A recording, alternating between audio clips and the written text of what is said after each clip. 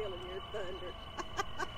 This is Shannon Deskins reporting, uh, doing some more flooding reports from uh, Pike County. Actually, I'm in Coal Run Village right now, and I've got Andrew Scott, the mayor of Coal Run. And Andrew, where we're standing right now, um, it's obvious the water is up. Your your park is now underwater. Our park is underwater, and and it's unfortunate uh, to see to see all this. I mean, you can look and you can see our stage here is underwater as well. Mm-hmm. Uh, we just got some stuff out of our storage building, which is uh, where our bathrooms are. But you know, we are blessed right now that we do not have, as of this point, any homes underwater and any families dealing with uh, dealing dealing with having to be rescued. So, you know, all in all, um, you know, even though it's a difficult day for all of us here, you know, we're, we're blessed that we don't have anybody anybody having to deal with um, evacu- uh, anybody having Right. to deal with, with with being flooding and having to be rescued.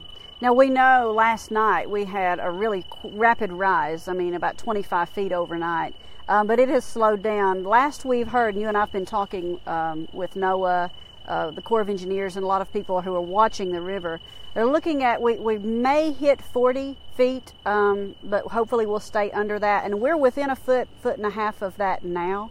Uh, a couple feet. So maybe we're looking at the last of that. They're hoping by early afternoon uh, that we will actually see a crest. So I know, you know, Coal Run has a lot of low lying low lying areas We do.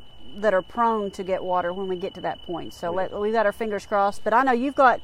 I've seen your police officers go by. I mean, they're going home by home to make sure everybody's okay at this point. Yeah, and, and, and particularly in our low-lying areas, I've, I've, I've ordered them to go home by home and just let people know, hey, the water is rising and you probably need to get out. We've got some homes on, on Windward Lane that are that are particularly in danger. I know one of them is currently evacuating. Okay. Um, but at this point, you know, as uh, as opposed to our 2015 flood, um, at this point right now, we have not had to do any water rescues, but we do have the Floyd County uh, Swift Rescue Team on standby. I just spoke with Mayor Les Stapleton, and I want to thank Right. Mayor Stapleton for, for helping us. We do have them on standby should we have to have any do any do any more rescues. Plus, we've also got our special response our special response tactical Humvee vehicle, which can forward you know water up to four feet, and we've got um, several fire fire tru- fire trucks that can also get in some high water to, to get Right. people. But we don't anticipate that happening. Hopefully.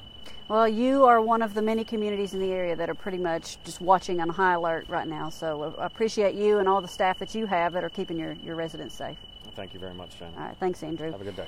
And as you can see, we're going to pan around behind me, and you can see what we're talking about when we say that the Coal Run Park uh, is underwater. The stage, uh, we've got the picnic tables, some of the things um, you can't access it at this point.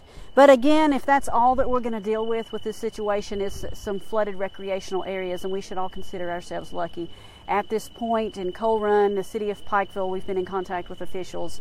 No homes have been inundated with water. Now, I know that's not to say that there aren't some places out in different counties in our region.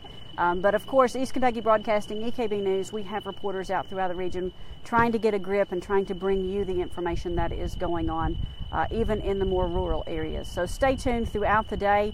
Uh, we are going to continue to monitor this situation um, as far as the water. But uh, the next time that you see us will probably be with the Pikeville Fire Department as they are preparing to close those floodgates. So stay tuned, and we'll bring you more flood information as it becomes available. Reporting in Coal Run, I'm Shannon Deskins for EKB News.